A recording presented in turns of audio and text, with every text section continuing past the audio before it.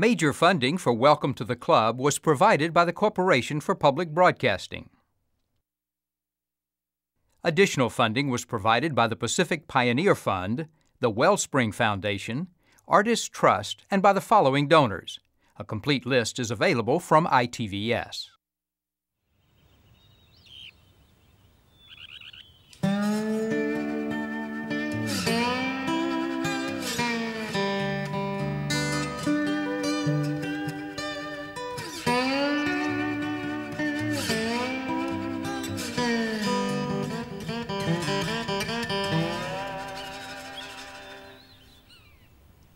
For most of her life, Charlene Arthur was viewed as a renegade.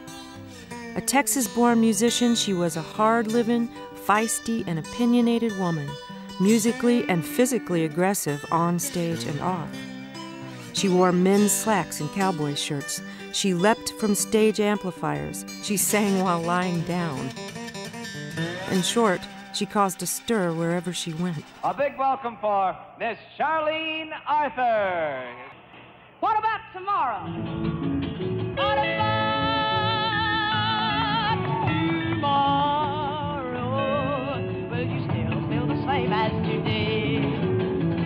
I was considered an outlaw to a lot of uh, musicians and disc jockeys and that because I wanted to do things my way.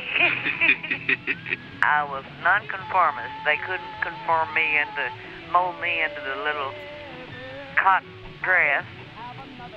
I worked uh, harder than Elvis ever thought about.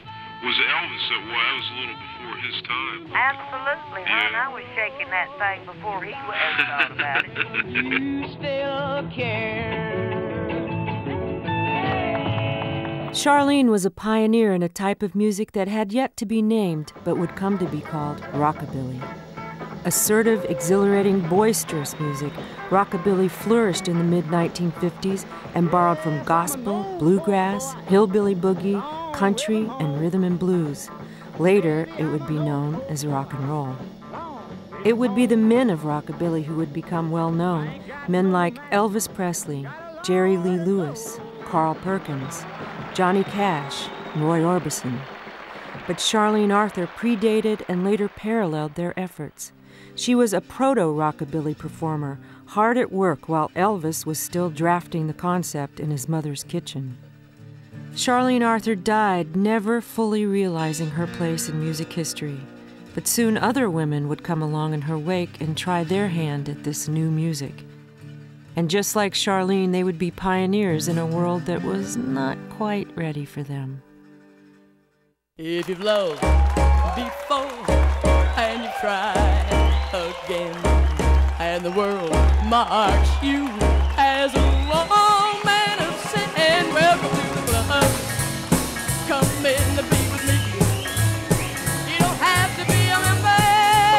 A broken the only. What is rockabilly? Well, it's life to me. it's there and it hits you right in the face when you hear it and you love it. I guess a hyper kid with a guitar in his hand. You know. It was coming from the soul, it was raw, it was what you felt. Kind of like that. Back in the 40s, they had a music that they called hillbilly music.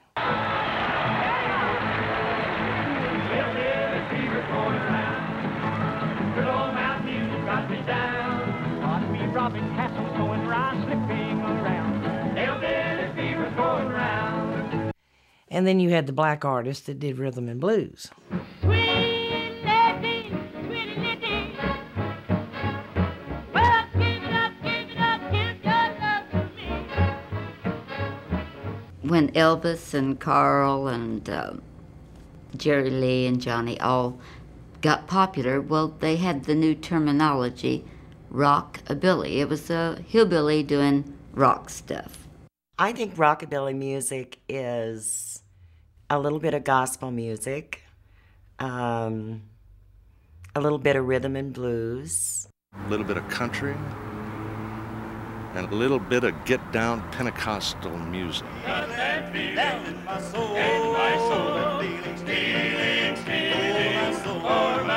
You can hear all kind of influence in rockabilly music, but it but it all has that one uh, dimension, and is, is that it's danceable and hand clapping and fun. There's a lot to be said for infusions of boogie woogie and the influence of Southern gospel and all this other kind of stuff, but I still think at its root, that's basically what we're talking about: is white kids learning to amp up their music like R&B jump tunes.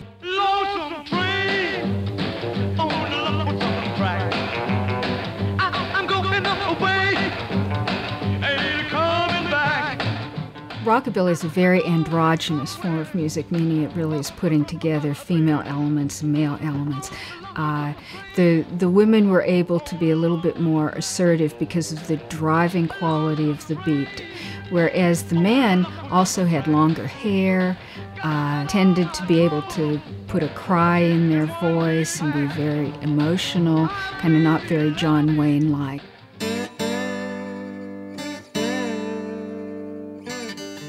The story of rockabilly women really starts with the search for the female pioneers of country music.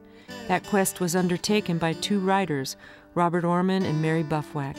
The result was their groundbreaking book, Finding Her Voice. We had become increasingly fascinated with the women of country music, who at that time were Dolly, Tammy, Loretta. I mean, these people that were writing these powerfully emotional things, and we began looking for their predecessors.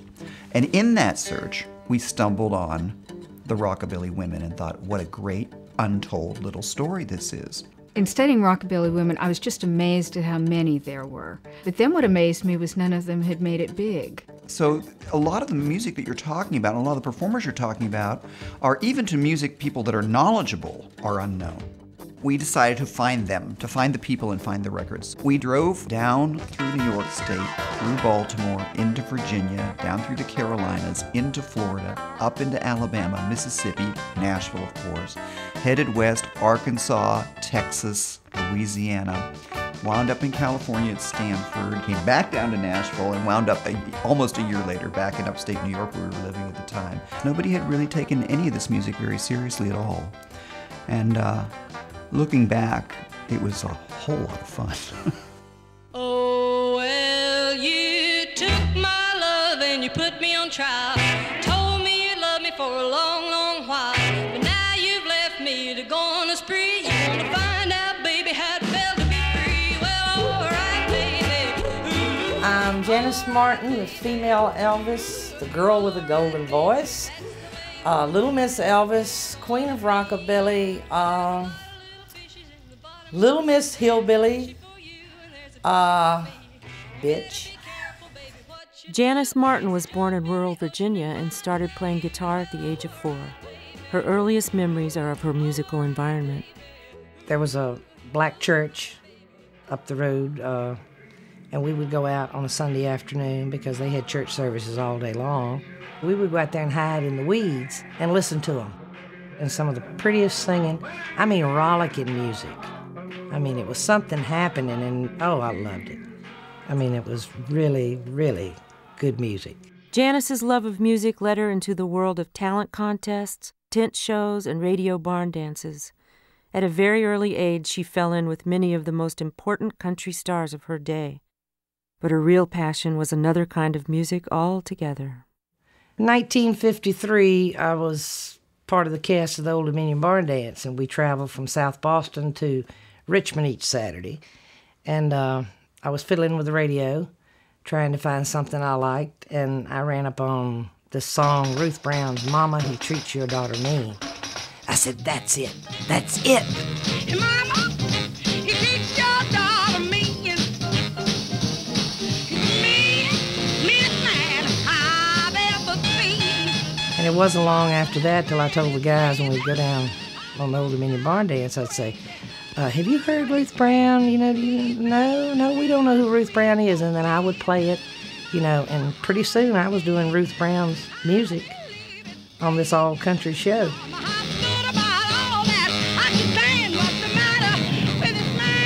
At first, uh, I think people looked at me, well, this is strange, you know, this is an all country show. But they loved it. They loved it. They would just tear the place down. We had two shows a night. I didn't know what I was doing. I didn't have a name for it. It was up tempo and it was lively and it was something happening rather than just getting out there, you know, and, and with a guitar and getting behind a microphone and just standing. Encouraging her musical interest at every turn was Janis's mother, Jewel. I was a very intelligent person, and I've got a little of it yet. And there was something in me that I wanted to f- accomplish something. And so my happiness came through the accomplishments that my daughter. I got off the school bus one day and my mama come running out the front door and uh, she said, We have got to go to Jake Owen's store and return this phone call. Chet Atkins has called and they want you to come to Nashville. So uh, that's how I met him. I went down and uh, he liked what I did. I know he, he sometime at the session he would just he would just start laughing, you know, because this music, you know, was coming about, and he was having to cut it with me. He was having to cut it with Elvis, and the Jordanaires there. I mean, he was having to do this stuff, and uh, he really liked it. Chet Atkins, a guitar virtuoso and an A&R man for RCA, was responsible for recording some of the first rockabilly performers moving to major labels. And Janis was the new addition to a roster which also included former Sun Records artist Elvis Presley. It was a puzzle that Elvis's old boss at Sun, Sam Phillips, had been unsuccessful finding a rockabilly queen for his king. But RCA was undaunted by this fact. A staff publicist quickly decided that Janis Martin had what it took to be billed as the female Elvis. They approached me, and I said, No way. No, I don't want that type. I wanted to make it on my own. Uh, but they got together and they talked to Colonel Tom and to Elvis and whatever. By that time, I saw him perform. And I thought, my God, he spells his name five letters E L V I S, J A N I S. We could have been twins, you know? And the parallels were just there. And as with Elvis, Janis's favor in the recording industry grew. RCA executive Steve Sholes began promoting her heavily, and Billboard magazine voted her Most Promising Female Artist of 1956. But despite her growing popularity, some sectors of American society were put off by rockabilly and by performers like Janis. I was a sweet little 15 year old girl with an innocent face and a ponytail. But when I got on stage, I moved. I couldn't be still, so I was vulgar. These men come down here from New York and from Florida to, to find out my reasons on rock and roll music and why I preach against it, and I believe with all of my heart that it is a contributing factor to our juvenile delinquency of today. I 100% believe it. Why I believe that is because I know how it feels when you sing it. I know what it does to you. And I, I know uh, the evil feeling that you feel when you sing it. I know the, the, the lost position that you get into in the beat. Well, uh, if you talk to the average teenager of today and you ask them what it is about rock and roll music that they like, and they'll, the first thing they'll say is the beat, the beat, the beat. Well, a hard-headed woman, a soft-hearted man, been a causing trouble ever since the world began. But don't you, oh yeah, ever since the world began. Yeah. Well, a hard-headed woman is a thorn in the side of a man. Really was not outrageous by any means, but uh, my dress was different, and my, singing these songs, which, in the like, is a very assertive music for them, and I think I was known as kind of a rebel. The cutest thing, uh, a guy wrote about me in the press. He said she he named all the songs I was doing, Mean Mean Man, Fujiyama Mama, Hot Dog that made him mad. And said, but really, when you meet Wanda, said she's really a sweet lady with a nasty voice.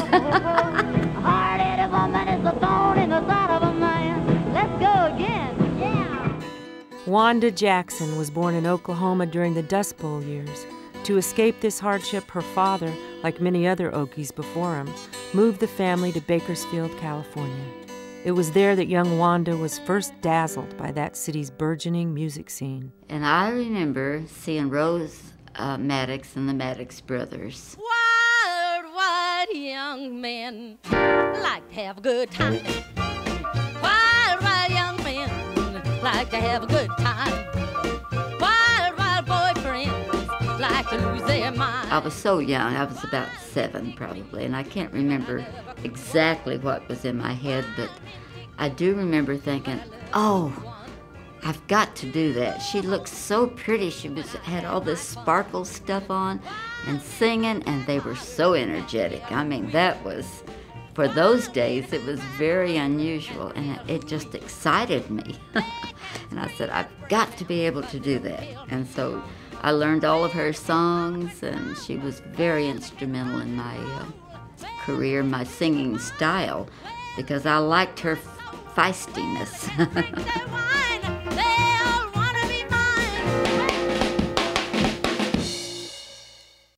Wanda had other musical influences as well.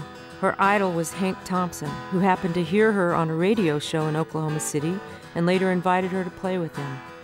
Thompson helped Wanda get a record deal with Decca. She soon began touring and package shows with many of the male stars of the day. They always had um, just one girl, and probably because there weren't that many girls.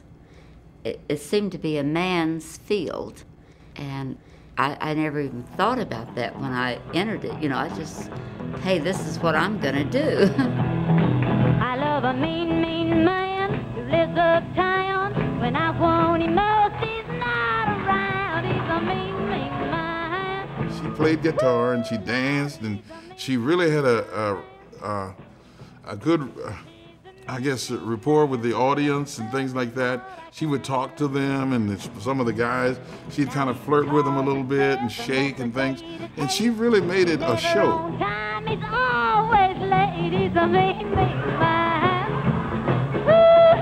Time he's always late. He's a mean, mean man. He's a mean, mean man. I'm talking about you. He's a mean, mean man, but I love him all I can. Here we go now, yeah. My daddy told me, uh, you know, he was he was never a star, but he he did perform. He said, Wanda, if you have fun on stage, everybody else will. So I just had fun. Wanda toured the country with one of the first integrated bands of its kind, which featured the versatile Big Al Downing on piano.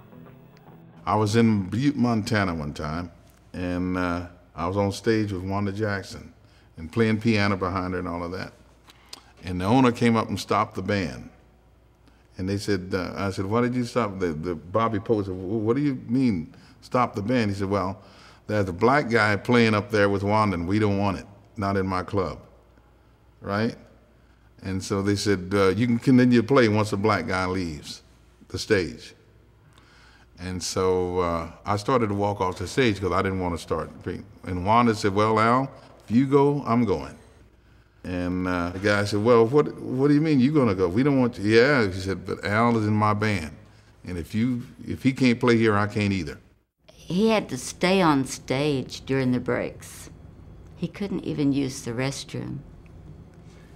And, you know, I, I would look up there and I think, oh, Al, how do you do it? I asked myself why I did it, and then it all comes back to the music. I love to play the music. And I said, if this is the way I, things I have to go through to play my music, uh, then I'm just going to do it, you know. I actually do think you see change in culture before you see change in politics. And I think the rockabilly is a perfect example of how there were uh, cultural attempts to break out of roles, how there were adoption of different roles within the culture. And that's much before we begin to articulate issues of feminism or inequality or injustice, which really doesn't come till we're impacted by the civil rights movement and then women begin to articulate their own position and their own understanding. But Betty Friedan comes after Wanda Jackson. In 1956, Wanda was asked to perform at the Grand Ole Opry, the mother church of country music. But this was both an honor and a challenge, since the Opry only occasionally invited a rockabilly performer to appear. Well, I was um so thrilled about being invited to the Grand Ole Opry. I'd had a country song in the top 10 or something. So I designed a special dress, and it, it had a what we called a sweetheart neck. And Mother and I, when Daddy, he'd come in and he'd check the, the line here. And then when he'd leave, Mother'd say, How much you want me to take it down? I'd say, Oh, about an inch. I was so happy she got it made, and I was backstage getting ready to go on, and I was on Ernest Tubb's portion. So he came back and uh, he looked around, and I was the only one there, had my guitar on. He said, Are you Wanda Jackson? I said, Yes, sir. He said, Okay, you're on next. I said, Great, I'm ready. And he looked at me and he said, Well, honey, you can't go on stage at the Grand Ole Opry like that. And I said, What do you mean? He said, Well, you can't show your shoulders. I said, Well, it's the only dress I have. He said, Well, you'll have to cover it up. Said, You've got about two minutes. So I had worn, a, luckily, a pretty decent looking leather jacket with the long fringe know, on the arms. That's all I could do. I was in tears. Put that old coat on, put my guitar back on, went out there and tried to sing, but you know, I was trying to cry and sing, and I was so upset.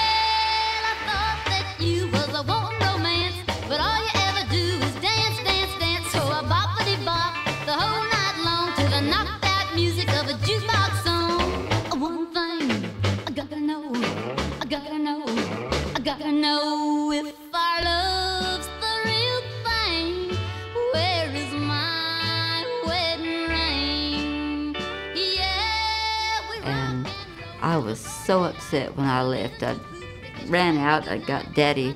I said, We're leaving here, I'm not ever coming back. It was a problem to be a girl rockabilly singer.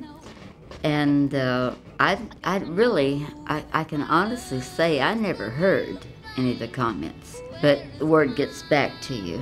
And, uh, you know, I just couldn't believe it. I'm thinking, hey, you love the music, and if you like my singing, why, why can't I do this? America just wasn't ready for it. And it, it's hard to, for people today to understand how new this was. And it was like a shock. I think during the 50s, especially, the mentality was that it was it was pretty much a man's world, you know, and I think it was um, kind of risque for a girl to sing rockabilly music, to get out there and kind of move around and, you know, be maybe a little sexy, and it was like A baby, when you held me in your arms so tight, you whispered that you loved me when we kissed goodnight. Your kiss made the difference, and then I knew, saving all my loving just for you. Yeah, saving all my loving just for you, saving all my. women weren't supposed to be that way. But I didn't know any better. You know, I didn't know how I was supposed to be. so I just was the way that I wanted to be.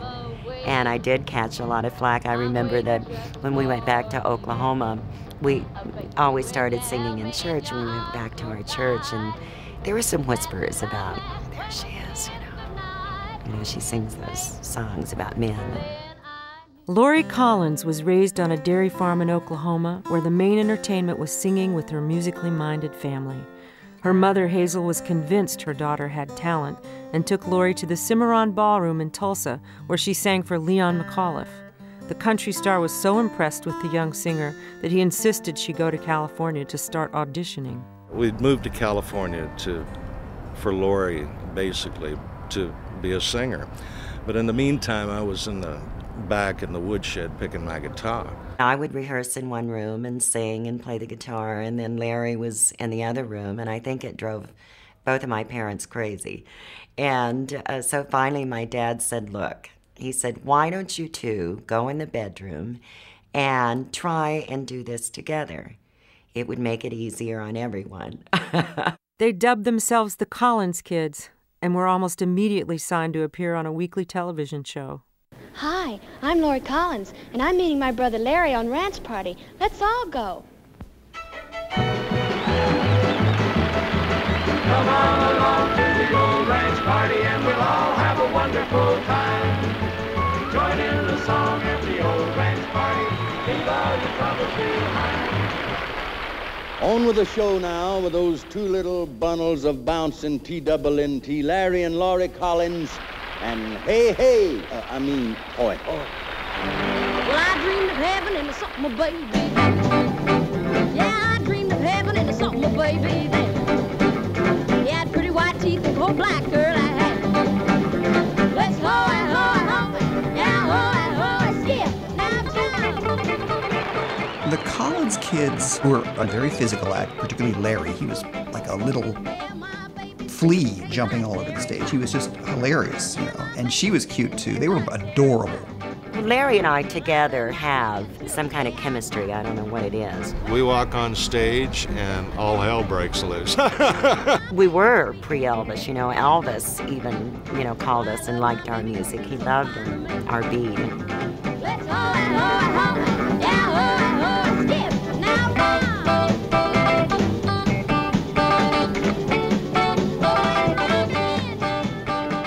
Lot of people thought that that was maybe um, too out there. You know, we should stick more to Missouri Waltz and Go Away Don't Bother Me, these nice little country kiddie songs, and we didn't want to do that.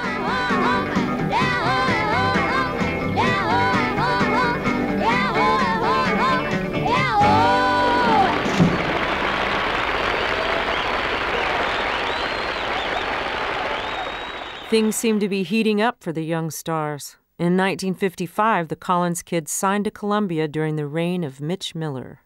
Mitch Miller was the head of A&R at Columbia Records, and that meant he had his fingers in everybody's career. He's the one, you know, who who sort of controlled the destinies of the artist. He's the one that did the sing along with Mitch albums.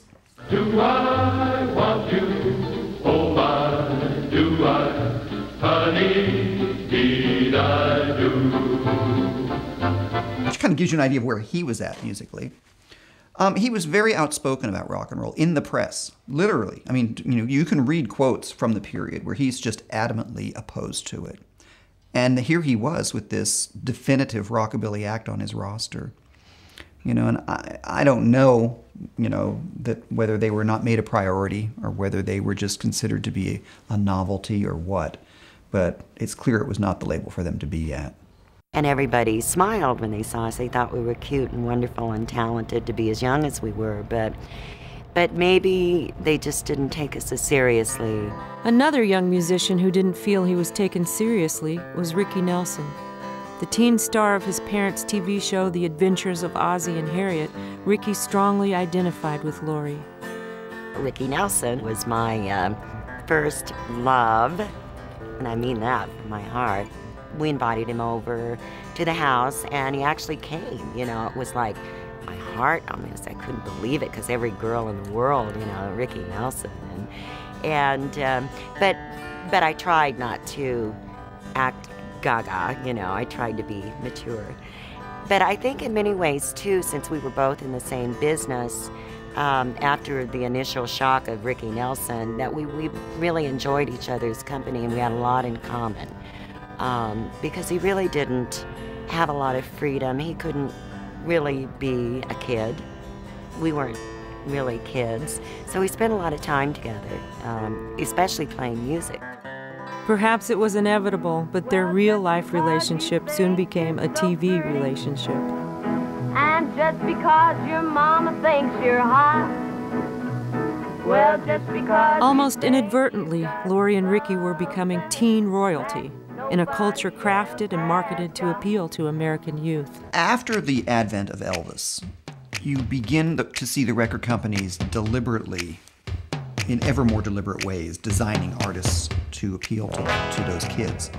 And they design this whole group of Philadelphia pretty boys, and all this stuff happens, and it's very clear that it's they're aiming it to market to young women for who these men are fantasy objects. They're sexually dangerous, they're rockers, and they're Italians or whatever. They're like, you know, they're they're different, and uh, the girls are, are the consumers. That they're you look at the teen magazines of the time. It's very clear that, the, that there are two assumptions. One is that girls are the consumers of teen culture, and that two, girls don't buy other girls. Well, you know, I remember when Elvis came out. I am that old, uh, and I remember sitting in at watching that Ed Sullivan show too. And I remember, you know, how interesting and unusual it was. And I also remember at that age really looking to music um, to appreciate boys. That and again, that explains why Brenda Lee was so successful. She was not threatening; she was one of them. What's the matter? What's the matter? Why don't you call? Don't you love your little baby no more at all? Oh, waiting here, baby, not doing a thing, just waiting for the phone to ring. Big low, sixty. With Brenda Lee, you have somebody who was so titanically vocally gifted at such an incredibly young age that there that was a blank slate that was waiting to be written on. My dad died on a construction accident. Um, I was going on eight years old, I believe. And it fell upon my mom to start supporting us. At the same time, I was working and traveling with a little local band and doing some shows and all. So it kind of fell on me too to sort of help support the family. I don't know where my style comes from. Um, because I certainly didn't have anybody to emulate. I, I wasn't listening to other female singers, not even male singers for that matter. Um, and I don't know where it came from. We didn't have record players, we couldn't afford to buy records. Basically, the only music that I heard was through the church. In time, Brenda would be able to afford records, and she would gravitate toward two rather distinct performers, Hank Williams and Mahalia Jackson. Remember one day I was walking along, they had me up and I saw the one heading on the fly. Hold on. My very favorite was Mahalia Jackson, and I followed her career as much as I possibly could, and I bought all of her records, and I found her to be um, so real and um, so powerful. It was like she was living whatever she was singing, and that really touched a chord in my being. Well, come a little baby, let's jump the broomstick. Come a let's tie a knot. Come a little baby, let's jump the broomstick. Come a let's tie a knot.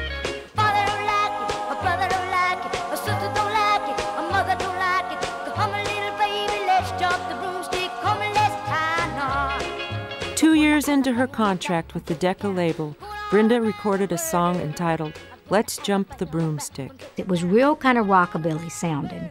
Uh, now I know it was rockabilly. Then I didn't know what it was. I just knew I liked the beat and, and I, I liked the song. And it was released in Europe, and it just became such a mega hit for me uh, internationally that I started touring uh, overseas. On these tours, Brenda shared the bill with a number of artists, including a little known act called the Silver Beatles. And I thought they were just so um, irreverent and so off the wall and so really good, and they were doing their own material that they had written. That I asked them, I said, if you'll give me some kind of a tape, I'll take it back to America to my record company and play it for them and see, you know, I really think you all need a record deal. So they gave me a tape and they gave me a picture of how they looked. It was John, Paul, George, and Pete Best. And I took it back to Decca Records and they passed on it. They said, We don't think at this time that this sound would be popular in the States, and we certainly don't think the way they look would be very popular. I was traveling over there, and, and that was great. And then finally, uh, in 1959, I recorded a song called Sweet Nothings, which catapulted me um, into some success in the United States. We walk along hand in hand. Sweet nothing. Yeah, we both understand. Sweet Nothings sort of put me into the rock and roll field. And then with I'm Sorry and all of those, I was considered pop. And then I was considered rockabilly in, you know, in Europe. And different parts of the world, I'm considered different things. I always felt like I knew what I could sing, and I knew what I couldn't, and I knew what I could believe and what I could make believable to the public, um, which I think is an important thing. You've got to strike an emotion within somebody to, to be successful. A 15 year old singing sensation receives the highest tribute of the world of discs as Decca Executive Vice President Leonard Schneider looks on. President Milton Rackmil presents to Brenda Lee a gold record symbolizing the sale of one million copies of her song, I'm Sorry. It's the nation's number one hit, so what's for a little girl from Tennessee to be sorry about? The girl next door image was highly prized in the 50s, but not every girl could live up to that image. Tommy and I married in January the 2nd of 1956. I did not record for RCA until March the 8th of 1956. So I didn't tell the record company. I didn't tell anybody because we eloped. In Nashville, Chet Atkins presented Janis with a song to record. The irony of the number was not lost on her, but it completely escaped Atkins and the others at RCA. He said, Here, let's go in here and we'll play this. And it started off, Let's elope, baby, you know. Well, naturally, I kept it, I kept it a secret from the record company because uh, uh, you just didn't get married at 15 then, you know, or whatever. And they had all the teenage image going on me, the sweet little innocent, fresh faced girl, which I was, really. Her secret was easy to keep because Tommy, a paratrooper, had been stationed overseas in Germany. But when Janis realized RCA was going to send her on a USO tour in Europe, she couldn't resist arranging a conjugal visit. The brass gave Tommy a 30 day leave, and he eagerly joined the tour. I mean, the tour manager's saying, What the hell is this, you know? Who is this guy? I said, He's my husband. Whatever. Oh my God. So they put in a call to New York. Oh God, they were mad. Oh, they were upset. Janis came back to the States triumphant from the tour with unintended, if not entirely unexpected, results. And I came back with a little package. I was called in. And uh, the suggestion was made that maybe we could do something about this little problem that I had. And uh, no way. I wouldn't do it. And I think I realized when I, I not only because the child was there, uh, I'd felt no movement or nothing, but if you ever carry a child and you have that love, I knew the consequences. And she still had obligations to the label. Eight months pregnant, Janis made one more recording for RCA.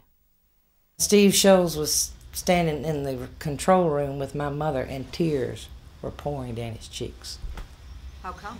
Because I had burst the whole teenage image that they had created for me. Uh, how do you promote a 16 year old girl, 17 year old, you know, that is expecting a baby and whatever? Uh, everything that they had promoted me and built me as was just destroyed. No, this this is our first picture that we had on Town Hall Party. What's this mean?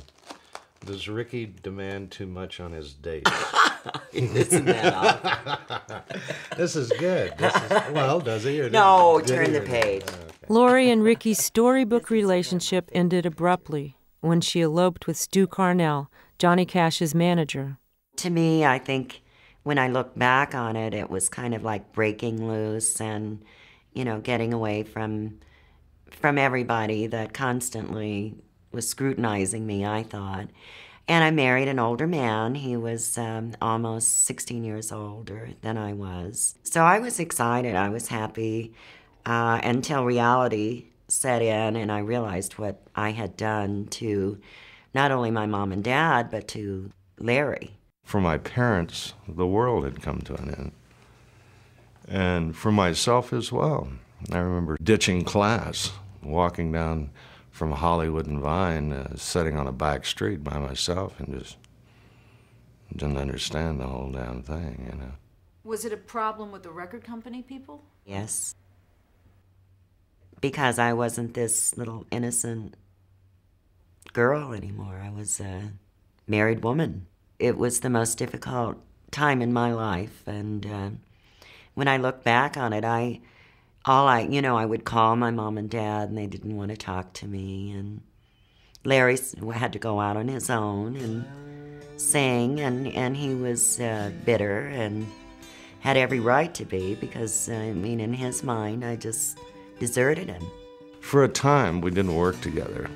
Uh, and the responsibility fell to me to keep, you know, the, the Collins family eating and a roof over our head. And uh, so it became Larry Collins going down the road with his dad. So, what was really the problem? Could you not play with Larry at that time? Well, I couldn't because of the strong feeling they had against uh, my husband. Everybody hated him. Time helped, and uh, eventually the family grew. Our career changed, definitely, you know. Um, we were really no longer recording. Uh, we kind of got involved in Las Vegas um, and worked there 22, 23 weeks a year.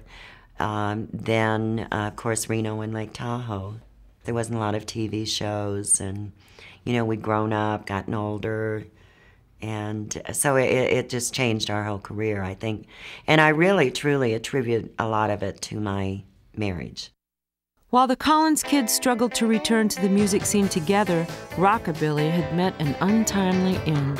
Clearly, the record industry was changing as the marketing of music to teens became more institutionalized. And when Brenda Lee's friends the Beatles arrived, all bets were off for American music for quite some time to come. I was being played, you know, in several different fields and selling in all those fields. And that was great. But then I think with the evolution of the business and all the big bucks that came into being, and uh, management strategy at the labels and marketing strategies uh, where they marketed you, um, you had to either be in this field or that field. And, and at that point, because I had been just not really required to be in any field. I had been in so many. I was neither fish nor fowl. So that that really hurt me in a lot of ways, recording wise. Some of the rockabilly people retreated to the familiarity of Nashville and the country music scene. Wanda Jackson did this for a time, but she eventually found her priorities shifting. In 1971, she became a Christian. And so that became so premier in my thinking that I've got to tell people what's happened to me because it was so wonderful. So the best way I could do it was through music.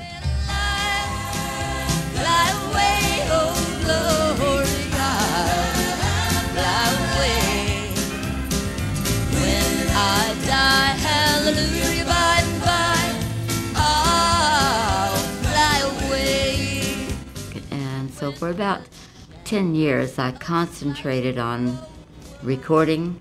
In fact, I even got a release from Capitol Records so that I could pursue the gospel recording company. But uh, all my fans thought I had died, I guess. You know, my country music, my rockabilly fans thought, you know, what's happened to Wanda? We don't see her anymore. Janis Martin was also living out of the limelight.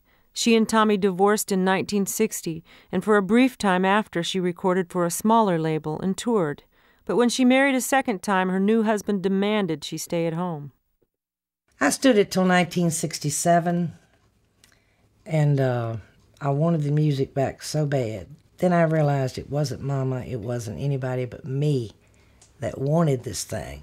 It was like part of me was missing. It was like I didn't have arms and legs. I didn't know what to do with myself. Okay, I'd had enough of being a little housewife. You used to be ashamed to admit something like this, but uh, I had a total nervous breakdown in 1967 and did not know why, you know, I was in this situation. But with the therapy and the analysis I got and everything, it was this music way down deep in me that did not have an outlet. Janis convinced her husband to let her form a band again, but it wasn't long before his old feelings about her career resurfaced. 1973, he gave me the ultimatum again. This band is interfering with our marriage. Uh, we're going to give the band up. Uh, this is it. And I looked at him, and by this time, 13 years had passed, and I said, Well, you gave me that ultimatum before and I chose you. I said, This time I'm choosing the music. The years passed, and many of these artists felt forgotten. Personal decisions, societal pressures, changes in the industry, and shifts in musical taste seemed to cheat them of their place in rock and roll history. But then, an interesting revival occurred.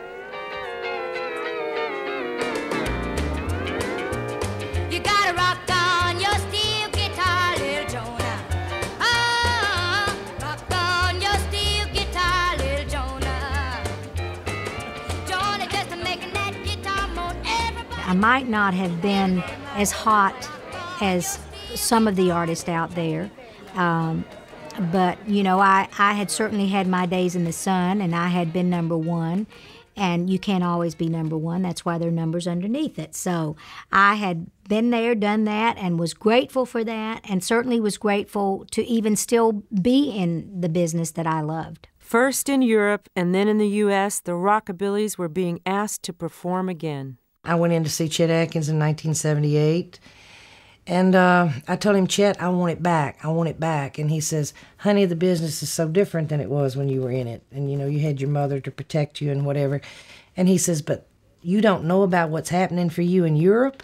Larry and I really didn't have any idea how popular our music was over there, but promoters kept calling. I hadn't done any secular music, you know, in 10 years. And I, my husband and I, you know, we, we said, well, let's go to the Lord in prayer and see if, he, if He'll explain to us what's going on. You know, I've basically been a writer for years and, and, uh, and a, uh, uh, an amateur golfer. And to get me to walk away from that golf course, you really got to do some talking. God has His ways of letting you know His will. And we realized that He was going to use my music popularity in the foreign countries as a vehicle for my testimony. So finally, in 1982, I got up my nerve. Uh, Rockhouse Records contacted me and wanted me to come over, and it was my birthday, my 42nd birthday. Uh, and I went over, and oh, it was fabulous. So we flew over there, and uh, it was just incredible. And I know it's been a pretty hot set,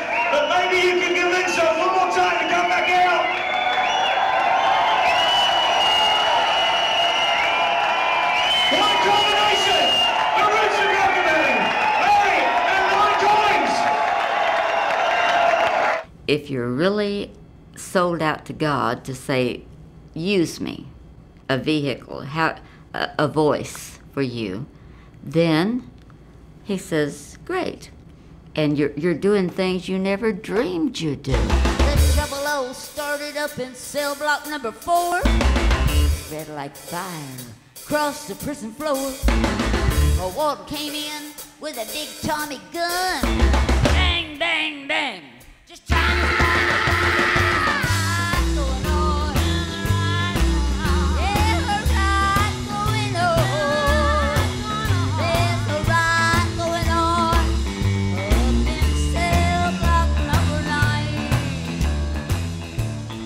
going back into places that I thought I would never go back into again. But it's because the people are wonderful, like the rockabilly set we were talking about. They're hungry to see some originals that, you know, they've got my old records. And I have a great time with them, and I can say, hey, you know what happened to me in 1971? I became a Christian, and life has been great ever since. And I don't bore them and I don't preach. I just tell them that. And that seems to be all God wants me to do right now. Now, next year he may change me again, but I'm open to it.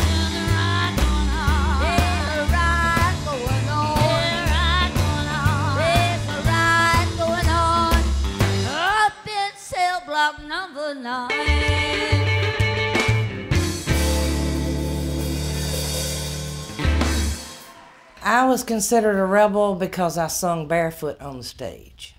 That's how innocent things were in the 50s. I would be singing and I'd kick my shoes off and everybody go, oh, you know, oh my God, you know. the music back in the 50s, you would have to maybe do 18 takes because every word you had said had to be distinct. There couldn't be any hisses in it at all. And the modern day music, my God, you can't understand a word they're saying. It's distortion. That's why I am thrilled that the rockabilly scene is coming back in the States.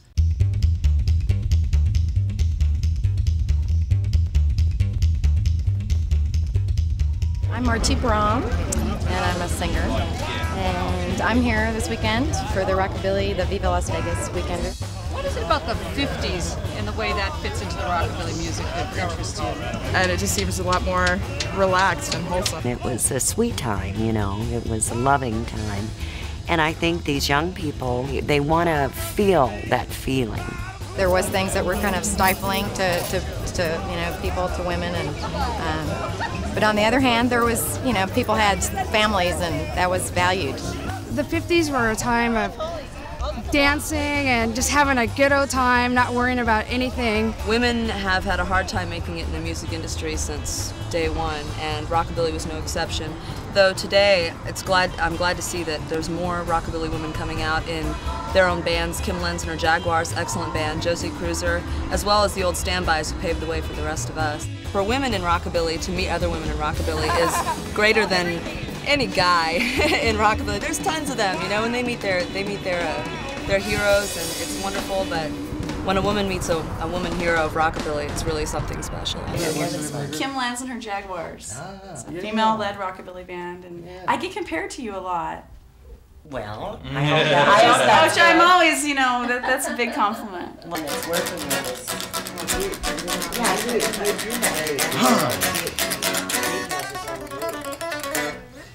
Okay, are you are you ready? Yeah, I think so.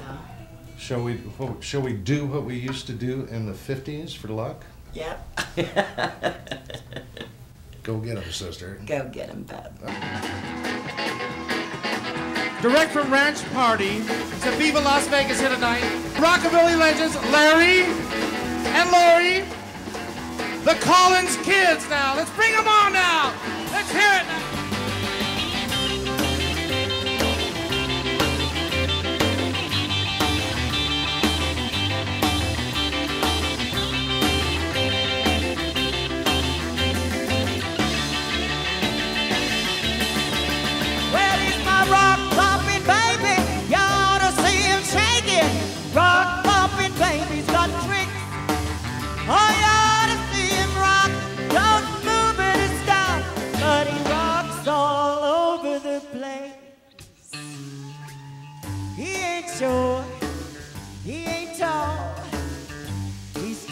Just about right. Well, he's my rock popping baby. I don't mean me. We'll do it up right tonight. We'll do it up right tonight. We'll do it up right tonight.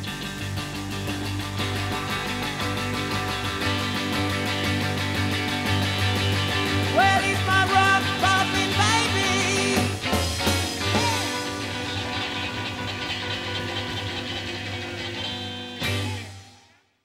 I used to make a joke uh, after Tom Ingham contacted me and wanted me to do Viva Las Vegas. I went in and looked at myself in the mirror one morning and I said, Hey, old gal, I said, it took you 59 years, but you're going to Vegas, you know.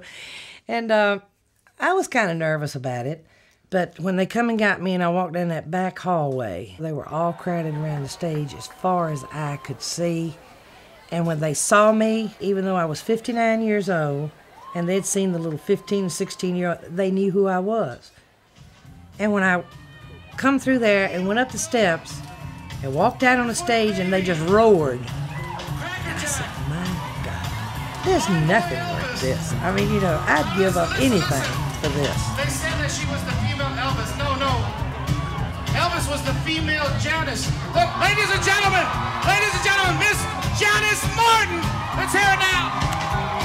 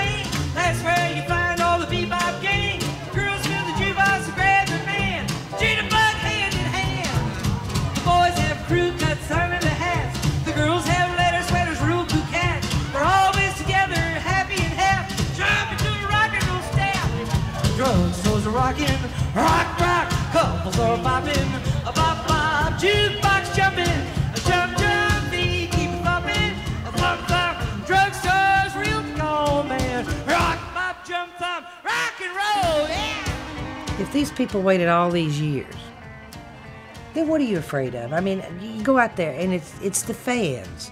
They're there. I hate to fly. I absolutely am horrified. I don't even want to go to the restrooms on a plane. But the reason I go is because I know they're over there and they're waiting to see me. And I haven't, you know, when I go next year, uh, the first of next year, I haven't been to Europe since 1994. It's time. It's time. To learn more about Rockabilly Women, log on to itvs.org.